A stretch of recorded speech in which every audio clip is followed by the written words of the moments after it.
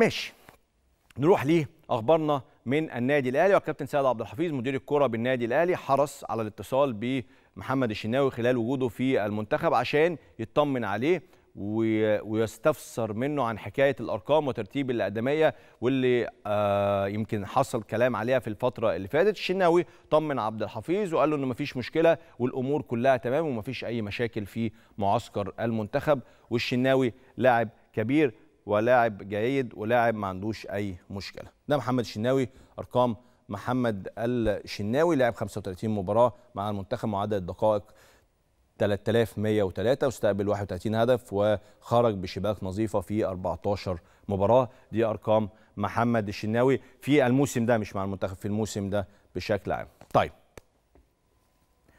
نكمل مع حضراتكم. وكابتن حسام غالي عضو مجلس إدارة النادي الأهلي عمل قعده للمرة الثانية مع صلاح محسن علشان يقنعه بالموافقة على تمديد عقده وخروجه إعارة لكن صلاح محسن لسه متمسك بالاستمرار مع النادي الأهلي أو الحصول على استغنى غير موجه استغنى نهائي. وأنا قلت لكم امبارح إنه الأهلي مش عايز يدي استغنى نهائي لصلاح محسن تخوفا أو خشية إن هو ينتقل للزمالك فري دون مقابل. عشان الأهلي كان عارف إنه صلاح محسن قعد مع وكيل لاعبين وكيل لاعبين عرض عليه التواجد في نادي الزمالك الفترة القادمة.